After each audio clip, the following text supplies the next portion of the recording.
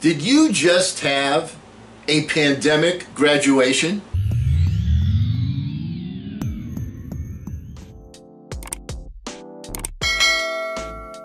Hello again, everyone. I'm Eli's dad with Project Eli, where we educate, lead, and inspire.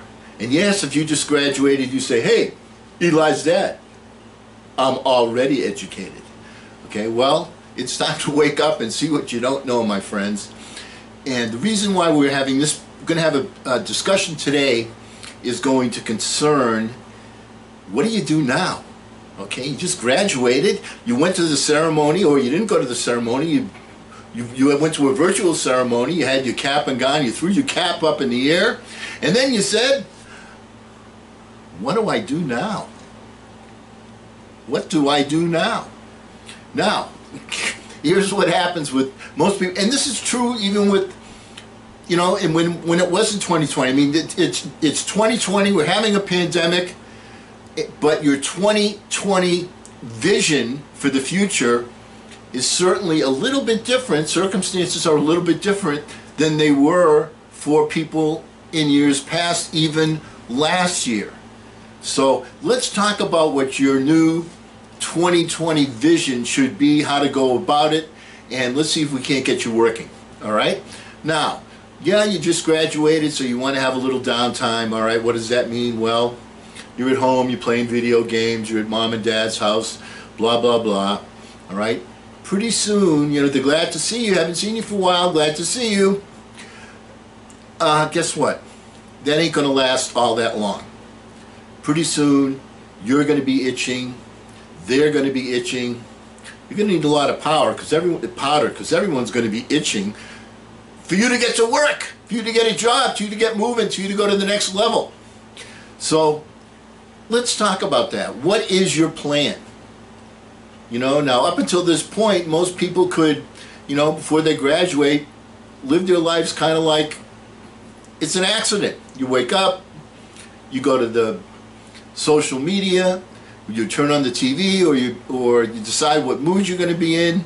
You know, you, you know, today I'm not going to be in a good mood. Today I'm going to be ticked off, or today I'm going to be worrying about what Joey said on on Facebook. You can't live life like that now. We've just graduated. It's time to move to the next level. Moving to the next level means stop living your life like it's an accident. You've got to plan it out. One of the things that we talk about planning out is having a vision for yourself. What do you ultimately want to be? Doesn't mean you got, and this is a mistake a lot of people make. They think like, oh, I just take a pill and I'm, I'm healthy. You know, I don't have to have heart surgery now. I took one pill, I'm done. Well, the wonderful world of employment isn't like that. So you have you start, for the most part, uh, at ground zero, and you have to work your way up. But the first thing is, have some sort of a ultimate vision of what it is that you want, what it is you want to do.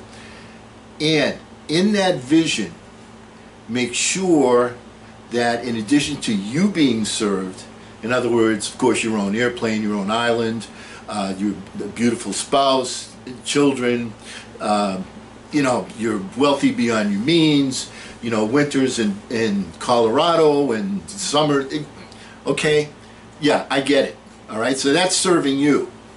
Let's talk about serving others, having a greater purpose. What is it you can do to serve other people? Now, where is the where is the vision in 2020 different than it has been in past years?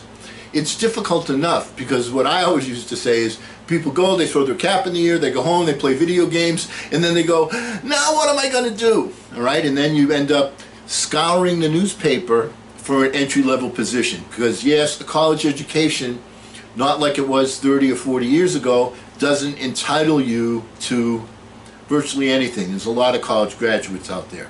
That's number one. Number two, the key thing is, in addition to all the graduates that you're competing with, present circumstances are saying we got 30 or so million other people out there that aren't working.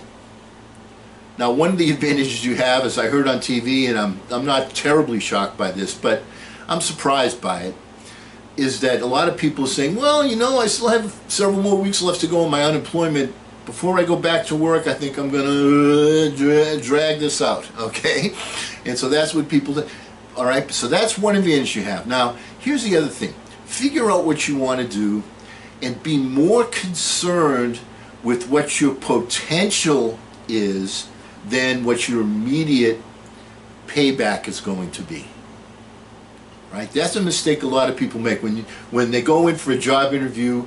The person that's you know doing the interviewing, the the gatekeeper before they send you to like the person that does the actual hiring, but the screener say, so tell me what kind of uh, salary are you looking for? Person that's in control is the person that's asking the question. So if they say what salary are you looking for and you give them an answer, they are the ones in control. You want to be the one in control. So when someone says to you, so what salary? You know, what's your minimum salary that you're looking for? Say, well, you know what? I'm a lot more interested in potential than I am in salary right this very minute. I want to get my foot in the door. I want to get started, but I want to get started where I can see light at the end of the tunnel that'll get me to my specific goal. And if you want to say what that goal is, especially make sure it's related to what you see on the company's website so that you can be congruent with them, but be sincere. All right? You don't want to be phony here because you don't want to end up getting a job where 40 hours a week or more you're saying, boy, I wish I wasn't here. You want to get something that, you know, is taking you to the next level so you can see it as a stepping stone and not as busy work. Does that make sense?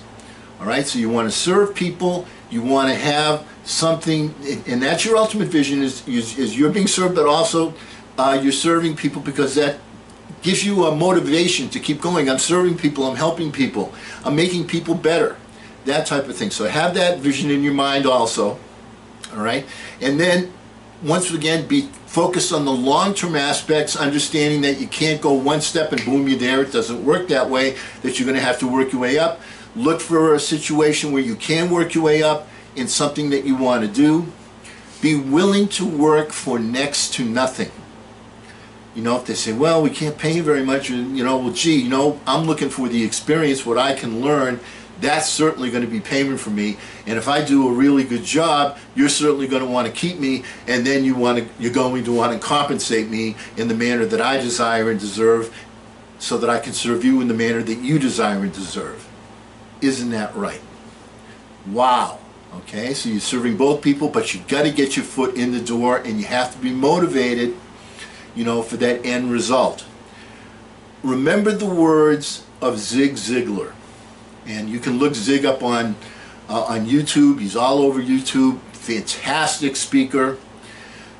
The number one quote I would say that Zig Ziglar is quoted for is, if you help enough other people get what they want, you will get what you want. And because we will never end a meeting on a philosophical note, Let's get out there. Let's hit the newspaper. Let's find something. Let's start interviewing. A lot of people are taking time off, so let's get out there and charge! I'm Eli's dad.